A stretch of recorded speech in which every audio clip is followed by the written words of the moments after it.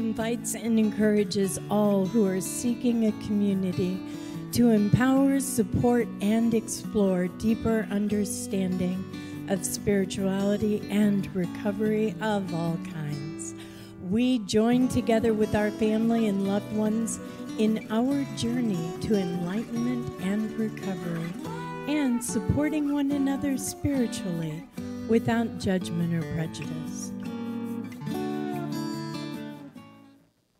Hi, thank you for joining us today at A Place of Faith. Today, we are going to explore the spiritual principle of compassion.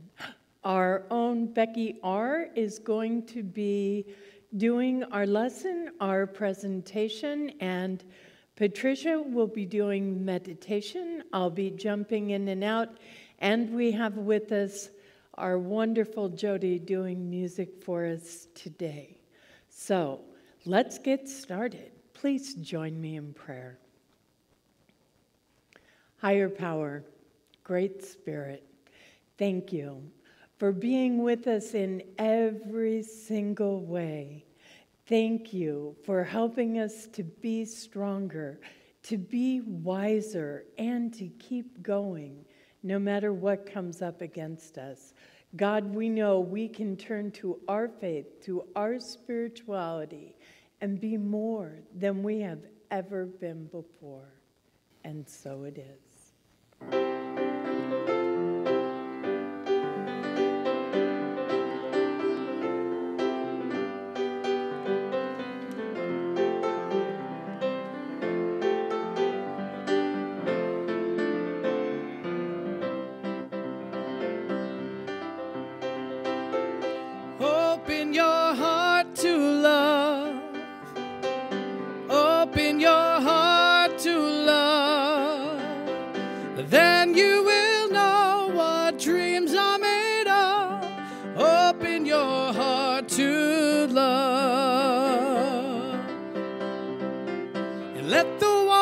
Crashing down.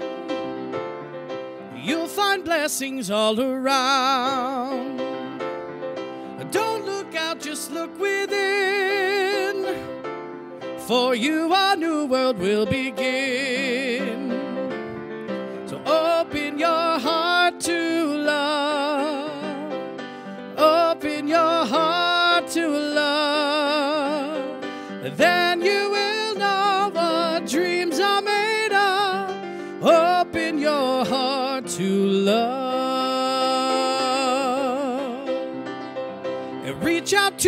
Fellow man and always lend a helping hand. The greatest thing that you can do is give love and receive it too. So open your heart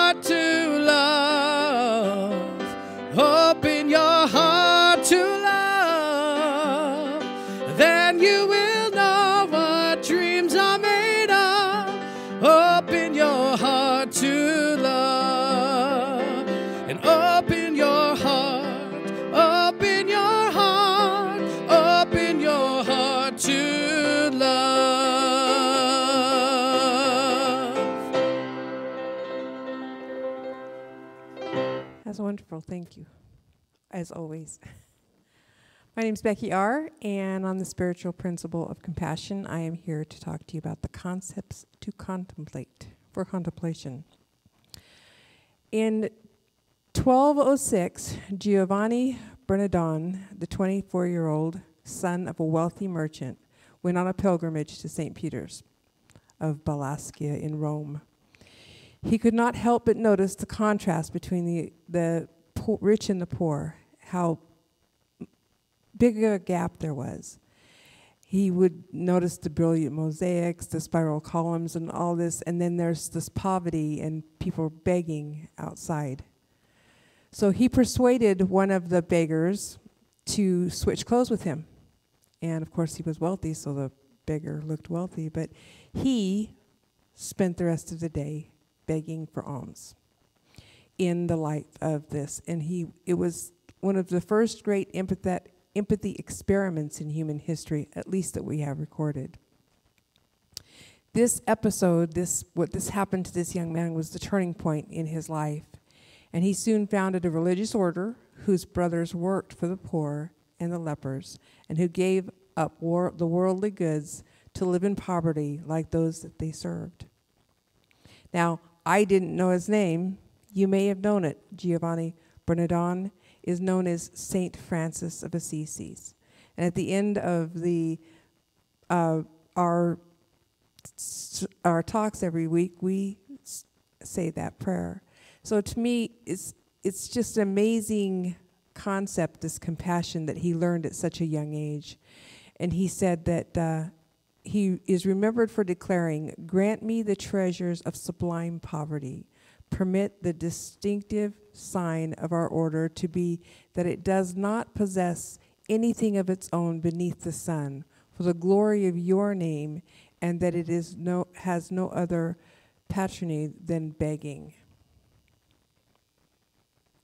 So, another one, our greatest example of compassion from the Bible that I, that I was, when I was researching, was Psalms 86:15. It says, But you, Lord, a compassionate and gracious God, slow to anger, abounding in love and faithfulness.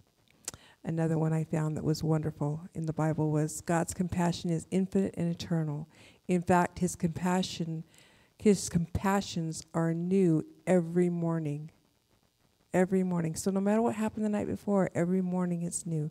They never fail, and that's from Lamentations 3 20, 22, 23. I hadn't heard of that one before, so I had to go research it. God comforts his people with compassion. Compassion is not just a feeling with someone, but seeking to change the situation.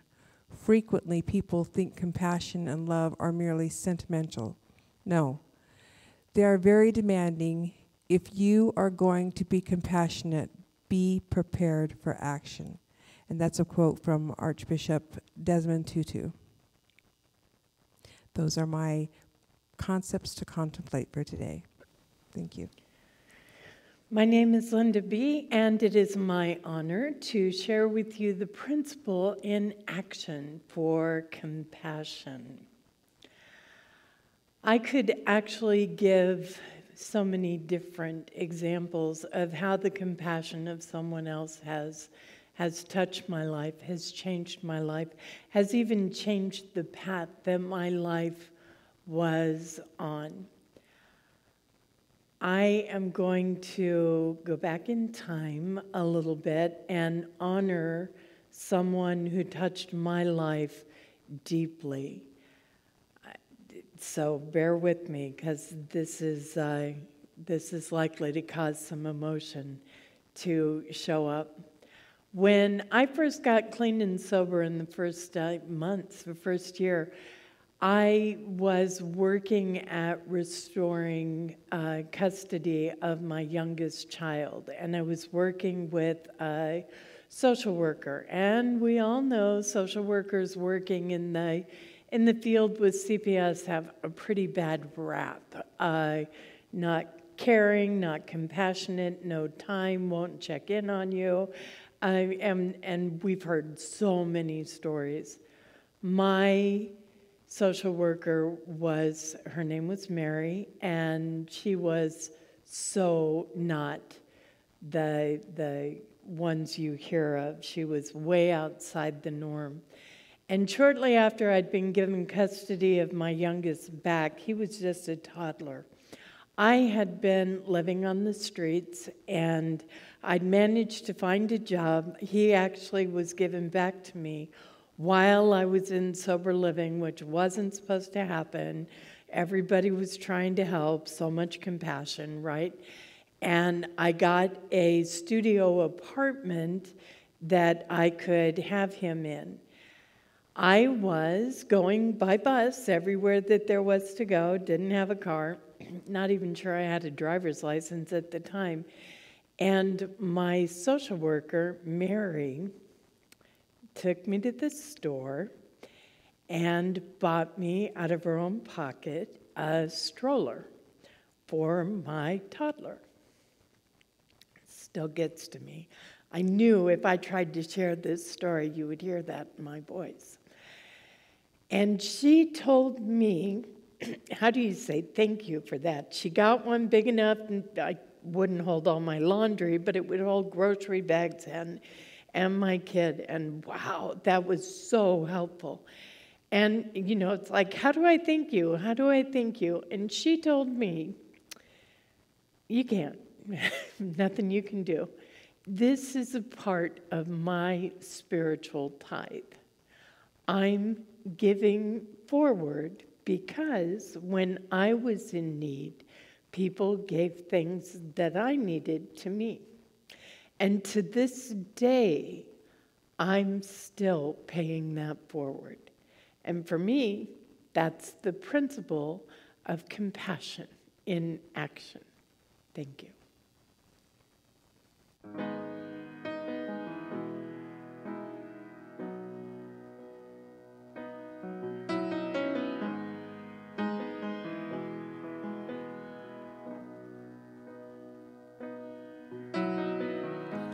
See a scene of empty eyes. Their silence speaks that life's not fair. They feel the weight of all their hunger, and I feel the weight of their despair.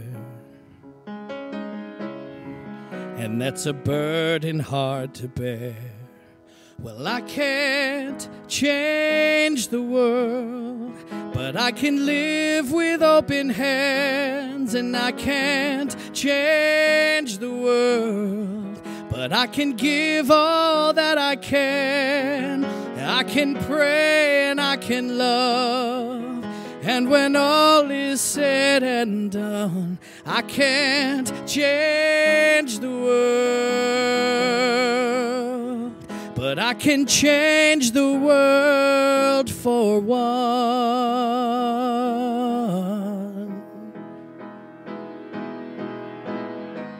Hope can drown in so much need.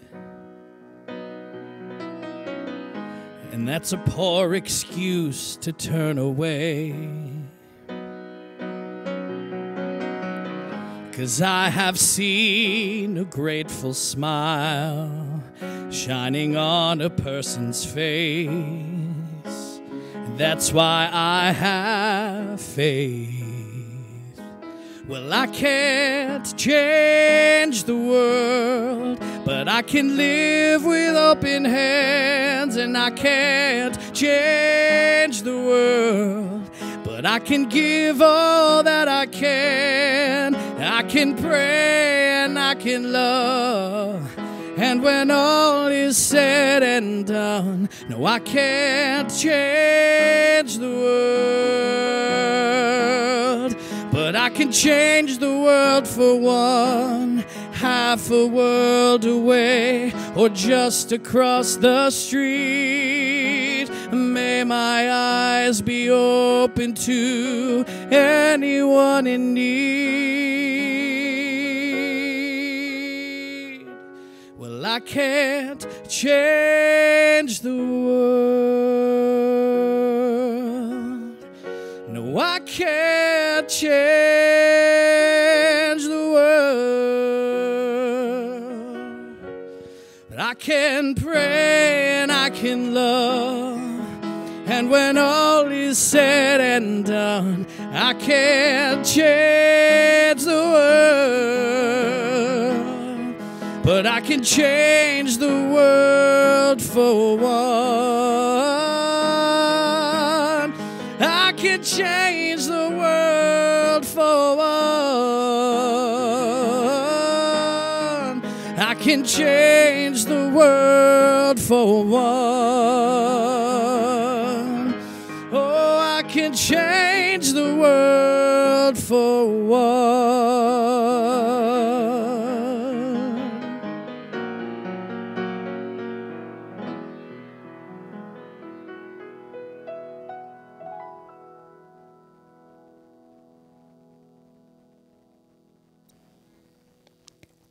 change the world for one.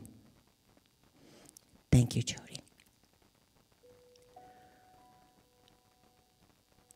Let us center ourselves right now in this loving place. Let us focus on the love around us, within us, whirling like a tornado from within, just spreading the love and compassion outward. Take a breath.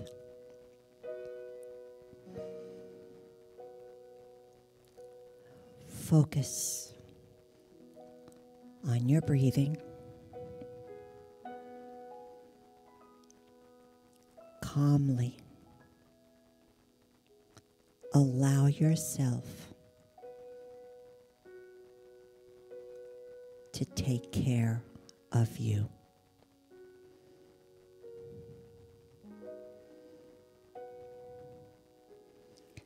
Compassion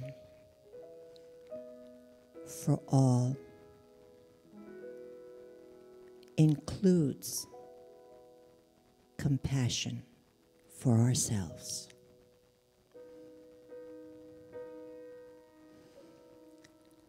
Connect with this joy and this calmness. Let the music envelop you. Feel the love.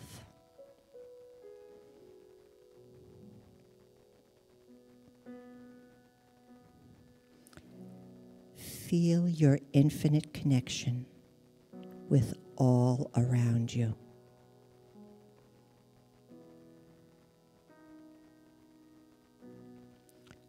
Breathe in the love filled air.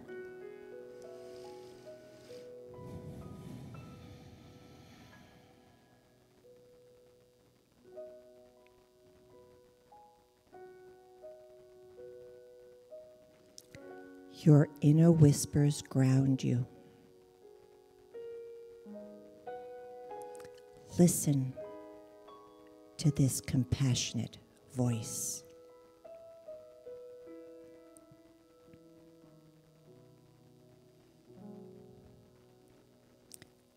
Breathe in calmness.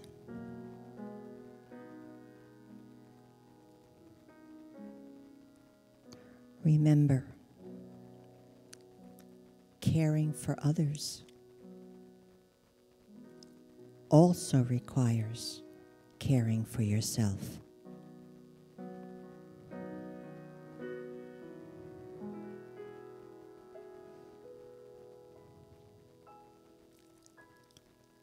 Focus on the love, the joy, the excitement that you have, knowing that you are caring and compassionate for yourself and for others.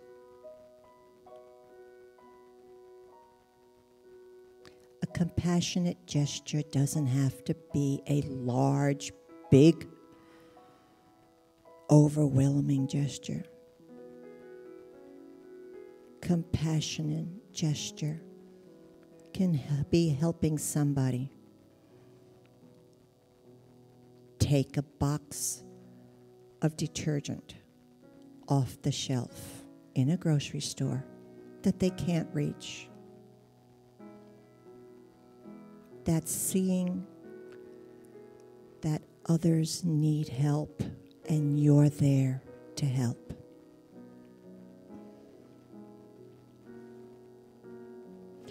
If your compassion does not include yourself, it is incomplete.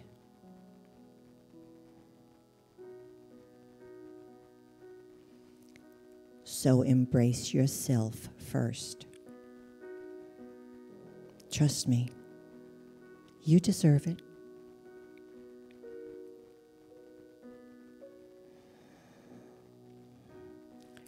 Remember, you have been criticizing yourself for years, and it hasn't worked. Try approving of yourself and see what happens.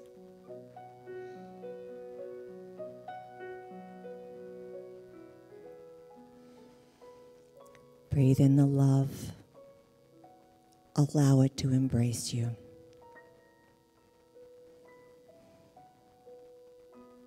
Feel your body calm and renewed.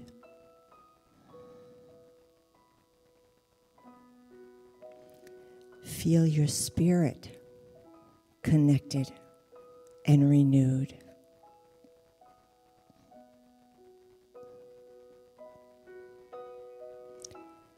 Feel yourself embracing compassion for others, also embracing compassion for yourself. Take in another exhilarating breath. Feel the love. Feel the joy. Be happy. Open your eyes and smile. Be thankful for everything that you see, everything that you know that's all around you. This is love. This is who you are. And because of this, the world is such a better place because you are in it. Be blessed. Be joyful. Be happy. You are love.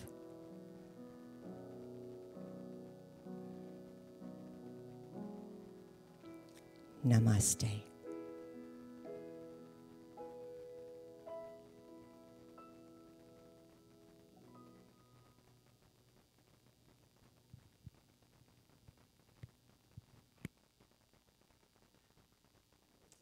That was really good. We had a good little thing going on there.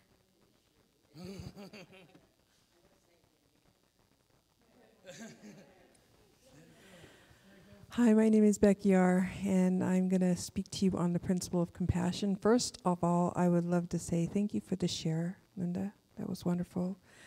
For the meditation, Patricia, beautiful. And for the music, Jody, you just rock my heart every time you play. I just was like, he's going to make me cry again. And you do, you know. But it's a good cry. That's, that's, that's what I'm looking for. So let's begin with prayer. Father, Mother God, we thank you for this time together to connect, to be in spirit with each other, and to know that we are compassion. We are love. We are your children. We are with you. And we have everything that you are at our fingertips always. Thank you. Amen. Okay, compassion. This was fun.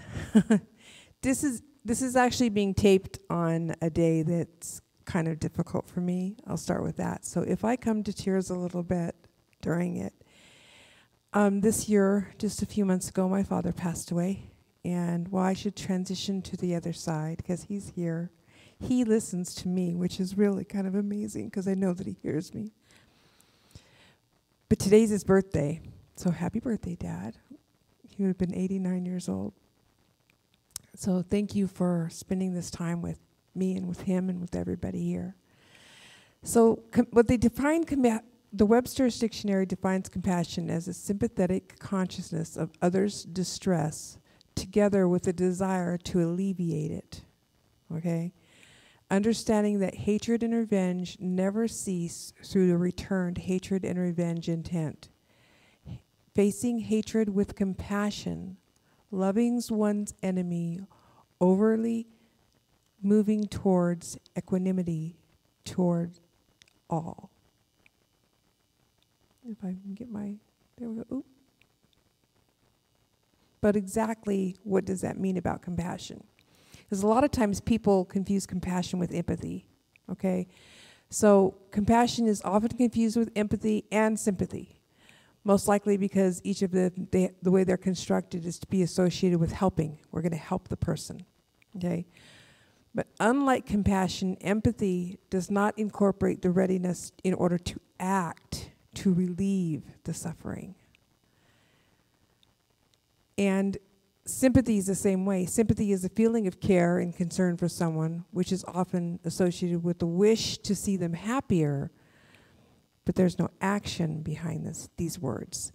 These are feelings inside of us, right? Sympathy is an experience of the feeling of sorrow for someone else's misfortune. With compassion, there is a recognition of the other person's emotional state and a desire to act in order to help it. This is the part that we have to. I talk about this a lot with it when when you hear me talking. I may may talk about it too much. I'm not sure, but knowing these principles and acting on these principles are two different things, right? So we can know about compassion, but acting on it in, is in this order. There's a cognitive component, it's an awareness of suffering. I understand that they're suffering. There's the effective component, I'm sympathetic, a sympathetic concern related to being emotionally moved by suffering. Oh, that, you know, that brings me to tears because they're hurting. There's the intentional component, is a wish to see them eat the ease of suffering. That's like, okay, they're suffering. Mm, I really wish they weren't. And then there's the motivational component, and that's a responsiveness or a readiness to step in and help. Right? So it's all of those combined. It's not just, you know, oh, I see it and there it is, and, you know, it's the acting upon it. So, does everybody deserve compassion? You know, who decides who's worth giving compassion to? And this one is really struck home a lot lately too because there's been some things coming up in my life that um, people are very surprised when they say, you know, this person hurt you and we're coming to you and how can you be so compassionate towards them? And I'm like, because that's who I am love and I am compassion and I have went through this and I know that on the other side they will find this too. They will also be healed. And what I'm hoping for you and your family is that you become healed and to me, that's compassion because I walked into it knowing that it was an act of love and compassion that was going to heal a family. So what would your higher what would our higher power say about it? Who who deserves compassion, who doesn't? You know, somebody hurts you or or does something bad to you. I kind of think my higher power would say, "Hello, I'm the boss around here, you know. I'm the one that decides. And if I decide one person deserves it, then we all deserve it. That's kind of the story that I get when I talk about this. So I found some stories online. They're really brief. One of them is called The Widower. It says After a long shift at a fire department, Matt Swatzell fell asleep while driving home and crashed into another vehicle. Uh, he took the life of a pregnant mother, her name was June Fitzgerald, and injured their, her 19 year 19 month old daughter. And according to the Today.com, uh, Fitzgerald's husband, a full-time pastor, asked for the man's diminished sentence. So he went to the trial and said, "Please lessen the sentence." And he also began meeting with the man for coffee and conversation. And for many years, the two of them remained very close. So that's an act of compassion. Even at a huge loss to himself, he knew that the man was working and he fell asleep and it wasn't it was an accident that happened right? So here's one that wasn't quite so accidental. It's called the unlikely partner. An iranian woman named shamir alajad and i'm going to murder that name over there right? She had told the associated press that retribution had been her only thought as after her teenage son was murdered all she could think about was retribution, right?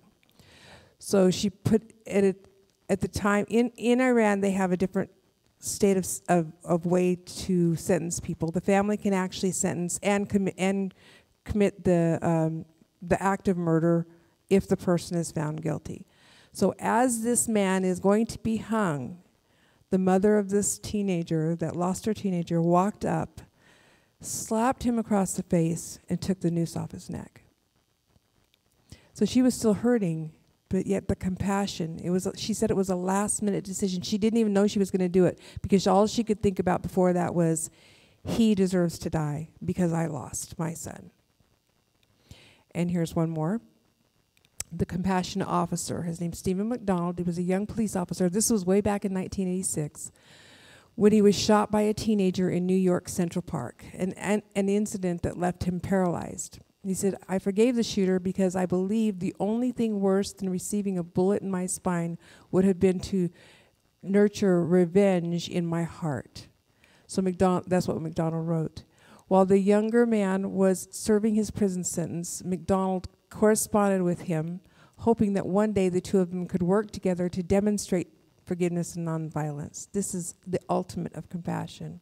Unfortunately, the young man died just days after he was released from a motorcycle accident.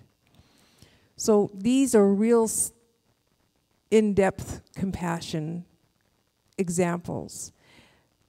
But as our meditation said, and as our wonderful sharing went, compassion can be so small. I mean, it can be a smile, right? It can be a holding the door open for someone when they need to come in. It can be taking the walker down the steps so that the elderly person can get down or up the steps. Compassion comes in all different ways, right? And who deserves it? Pretty much, we all deserve it, right? So there's, there are ways to cu- cultivate compassion if you don't already have it. And Lisa Rankin, MD, she's a um, physician at New York Times. She's a best-selling author she said there's some easy tips on how to do this. So we're going to run through some of her easy tips. If you don't already have compassion, ways to build it. Start by practicing, practicing self compassion. Well, there's a good one, right? Even in our meditation, who it's really so much easier. And I know with this being in recovery, it was so easy to serve and show compassion to everybody else. But coming back at myself was just like that was a, that was a hard lesson to learn. I'm glad I've learned it. Ooh, yeah, but it wasn't one of my easier lessons because it was easier for me to help somebody else. So compassion, according to P- Pema Chodron, she's an amazing author. She's a monk. Compassion for others begins with kindness to ourselves kindness to ourselves. And that can be in little steps too. If it's something that is new to us, we can start with baby steps. It can be easy. Shut the TV off and take a bath. You know, set that last little piece of work aside and give yourself a few minutes to meditate. Compassion can come in so many different ways. So, the second tip is to put yourself in someone else's shoes. That's a little bit harder, especially if you're angry or in a rage about someone you feel like you've some kind of injustice has happened to you. And the thing that happened to me and that we went, I, my whole family went through just recently, had they approached me with this um, request for understanding and all this 20 years ago, I would probably not have been able to show them the compassion that I showed them. And I probably wouldn't have been able to bless them and hope that their family heals. I probably would have still had a lot, of harbored a lot of anger because I was hurt for a long time. So it's this is a testament to my growth inside this program is because now I can go, yes, I see and I understand and I can love you just just just the way you are and I can hold the space for you to heal. So we put ourselves in someone else's shoes that kind of gives us that idea. What would it really be like? Okay? So number 3 is we move beyond our self-referencing. So it's practice shifting from our perspective, from exclusive thinking you know, because this is a big, wide world here. This isn't, it, it's not just, I, what did I see the other day? I saw a quote that said, um, people are really going to be surprised when they get the map of the universe and find out they're not standing in the center of it. It's just, it really is. We are not the center of the universe. We're a part of everything else. And so compassion is part of who we are. So practice shifting from our perspective. And A quote on this was from Jack Kornfield Our sorrows and wounds are healed only when we touch them with compassion. Because it's really easy to tear at our wounds, right? But if we touch it with compassion, imagine how much healing will happen. Number four is practice kindness without people pleasing. Ooh, there's a qualifier it's easy for me to people it was easy for me to people please i would say that. I was the ultimate i probably could have won the the grammy award on people pleasing years ago because i was as my mother said i was the glue that held the family together you know because i was the people pleaser. I made sure everybody was right and everything everything. So you have to practice that kindness without the people. Be kind but have those boundaries. And that's hard. It's a lesson that we learn. These things are simple, but they're hard. you know, how many times have we heard that, right? It doesn't mean we're selling out the, the truth for in order to make someone happy or make somebody feel good. It's authentic kindness, okay? Number five, relax your judgment. Relax our judgment. I'll say that too, our judgment. Okay, it's really easy to judge somebody. It's really easy to slap a label on them and say, this is who they are. That's just who they are. You know, what if we said, took that label off and said, maybe we really don't know who they are? Maybe we haven't given them a chance to become who they are to us. You know, relax our judgment about it. What if we could just let them keep these labels off? There's no right or wrong. We stay within our own boundaries and we, we let them be within theirs. And if that keeps them in our circle of friends, it does. If it doesn't, then they'll have other friends to go to. Releasing judgment of others starts with letting go of self judgments, too. Isn't that easy? How many times in a day does someone say, including myself, um, that's just the way I am? That's just the way I am. Is it now? Or have I just used that as an excuse to not try to open up to not label myself? You know, or that's just the way they are. Well, had they been given the opportunity to make another choice? Maybe they are making the only choice that they can. We don't know, but if we slap the label on them, then we've said, we've, we've judged them. That's who they are. Number six, listen generously. This is a big one for me. And I learned this when I was at the Unity of Phoenix, and I was in the chaplain program, and we did this listening exercise where people listen at 25%, then they listen at 50%, then they listen at 75%, and then they listen completely. Listening is something that is an art. You have to do it, and you can't do it if you got your stuff. We cannot do it if we've got our phones stuck in our faces. It's not possible. Or if we're distracted by something else, or we're typing on the computer, or we're, or you know, trying to write notes or whatever. Listening generously means actually focusing and listening to the person, right? Without judgment. When you listen generously to people, they hear the truth in themselves, often for the first time. You know, I don't know how many times I've been talking and someone with someone that's listening to me and by the end of the conversation I've already answered my own thing because they listened to me and they heard who I was and what I was saying. It's amazing. Number seven, heal your, healing our own trauma. It's a big one. It's hard to do again. Simple techniques out there to do it, but healing trauma, touching ourselves with compassion, right? If we hold in unhealed trauma, it festers do they even use that word anymore? Festers. It grows and grows and becomes whatever it needs to become to get out. It'll find a way out. In, in, in lots of other ways, they're finding that scientifically now. People holding in, you know, well, years ago, ulcers was the big thing. Everybody has an ulcer because they were so stressed. It's because they were holding all, all, we were holding all this stuff in, right? So compassion is an action word with no boundaries. Prince said that, really. I felt that. I was just like, really, Prince?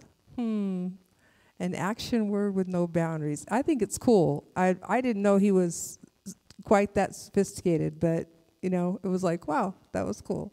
Number 8, practice presence. Be where you are when you're there. You're not re- rehearse, you know, reliving the past or rehearsing the future. Practice the presence. Try to be fully present with everyone you encounter, right? Avoid looking at your phone, multitasking, glancing at the TV, you know, behind your lunch date. How you know, the, every every restaurant you go into, when you can go into a restaurant, there's 40 TVs, and they're expecting you to look up and look at the TV. You know, what you're having a conversation at the table, but they're distracting with the TVs. Be be present. See if you can really feel what the other person might be thinking beneath the words, because there's always something beneath the words.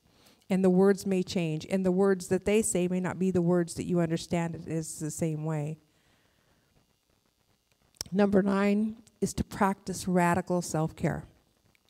And this lady that wrote this book, she's the one, she, she, she, I think she has a book called Radical Self Care. And I have not read it, but I read the synopsis of it. It sounded amazing. But she says, in order to truly offer compassion to others, you first have to fill yourself, fill your own tank, right? And think about how one of my wonderful monks says that compassion is, an, is a verb, right? So there's three quick tips to practice it. So pause for a moment and consider whether or not you're telling yourself about the other person is a story, is is it accurate? Is it true? And what's the evidence of that belief?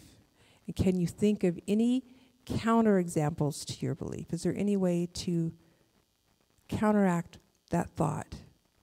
What was it? My husband tells me we used to have this saying, and we haven't said it in a while. What is it?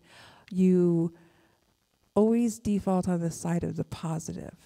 It's always always think that no matter what they're doing, they're doing it for the right reasons and it changes it changes the way you think about things if you try to think that they're always they're doing their best they're always trying to be positive so if you find that you've been engaging in an all or nothing thought or generalizations consider a more balanced thought might be instead. He instead of a, he's a terrible person you know consider saying that i don't like that what he did you know. I always told my children when they were growing up in their in their late 30s and early 40s now it's not what you do you know, I'm not saying that you're a bad person. I'm saying that what you did was not right. You know, and I can separate the two, but that you're still gonna you're gonna still gonna be held accountable for what you did. So consider engaging in an international act of kindness. Random acts of kindness are amazing. You'd be surprised how many people will pay for the coffee of the person behind them in a car. I heard one time, I don't know, it went on for days at one Starbucks, where the word got out, and they always paid for the person behind them because someone had paid for theirs, so they would pay behind and pay behind, and it would go on and on for days. I don't know the record, but it was amazing to hear the story. L- just little things like that, you know. Get get strollers bought for you. Those are amazing. So from the Dalai Lama, I found two wonderful quotes. It says, "It's not enough to be compassionate; you must act." And I I really believe that compassion is the action verb. It, it really, we have to, we, we can feel it, and it's complete when we act on our feelings. And it has another one that says, Love and compassion are necessities, not luxuries. Without them, humanity cannot survive. So I'll leave you with this last quote. And it says, This is from Desmond Tutu, and he's a South African Anglican Archbishop. I quoted him earlier. He's also known best for his. He won the Nobel Prize in 1984, and he's been uh, opposing the apartheid in South Africa for way before since then, but way before that. He says the central concern is the healing of breaches, the redressing of imbalances, the restoration of broken relationships, a seeking to re- rehabilitate both the victim and the perpetrator, who should be given opportunity to reintegrate into the community he has injured by his offense. That's part of what has happened in my life is I've been asked to be a part of this family again. And with my compassion and my love I'm willing to be open to do that and it's an amazing feeling to being on this side of it. And I'm grateful that my recovery has led me here. So let's pray. Higher power, thank you for this time together. Thank you for the words, for the quotes, and for those listening. And I pray that it touches the hearts of those that need it most to know that there are people willing to be compassionate towards them, to love them, to not label them, and to be in their presence with them as they are, knowing that compassion is for everyone. We all deserve it. We all are empowered by it, by giving it and receiving. We say thank you. Amen. Thank you, Beci, Linda, Jody, Phil, Bob, Samantha, Frankie, for being here, for helping all of us, for putting this service together. In recovery, we are offered opportunities to be of service. Right here in El Cajon, we have two establishments that could really use our service. The Salvation Army, they need help. They need food donations. Look it up, their address, their website, give them a call. They'll tell you what they need, where to bring it, and the hours that you can bring the food down to them. The other opportunity we have is to give blood to the San Diego Blood Bank. We also have an office here in El Cajon. Their telephone number is 619 441 1804. Give them a call. Let's be of service.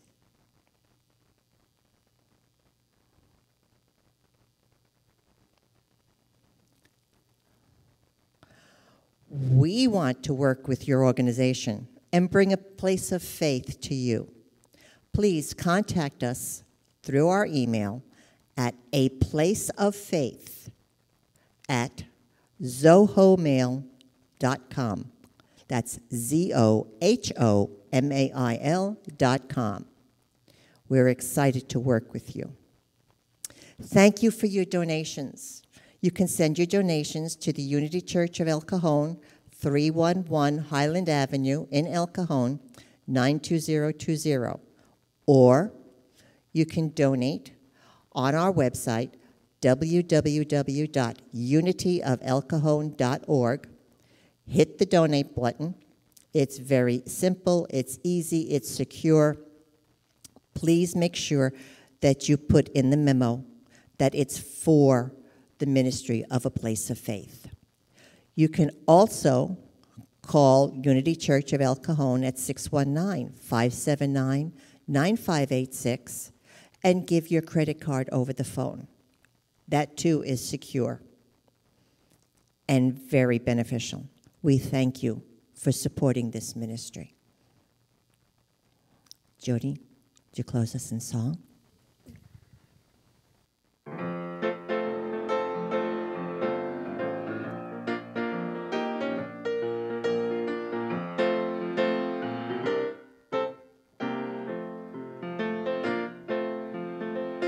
Love is my decision. It's up to me to give of my heart. Love is my decision, and no one else can tell me to start. And once I decide to change my mind, God will show me how.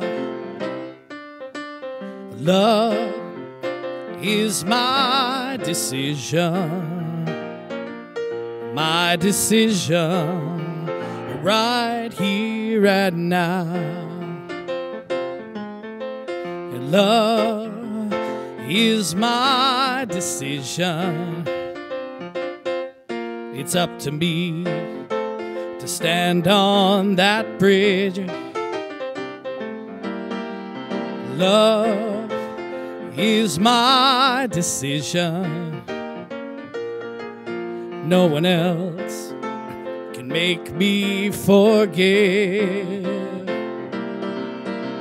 And once I decide to change my mind, well, God will show me how. And love is my decision, my decision right here and now.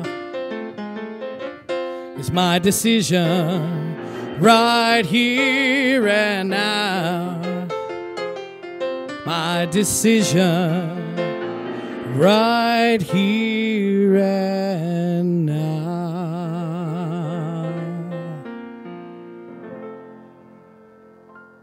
Thank you, Jody. Love is my decision. Talk about compassion.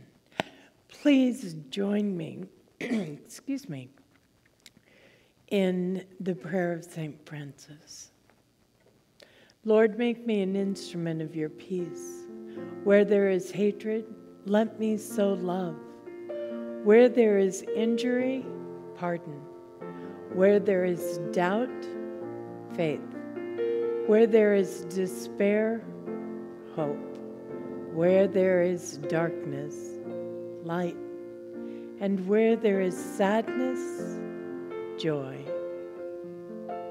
O Divine Master, grant that I may not so much seek to be consoled as to console, to be understood as to understand, to be loved as to love. For it is in giving that we receive, it is in pardoning that we are pardoned, and it is in dying that we are born to eternal life. Amen. Thank you. See you next week.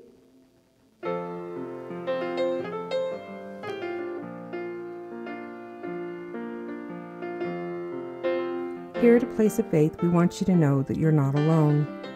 We know how challenging these times are. We want you to know we're all in this together, doing the best that we can where we are with what we have. Reaching out and asking for assistance isn't always easy. It takes courage and strength. We understand this struggle as well. Below you will find a list of local resources that are here to assist those in need. If you have an emergency, please dial 911.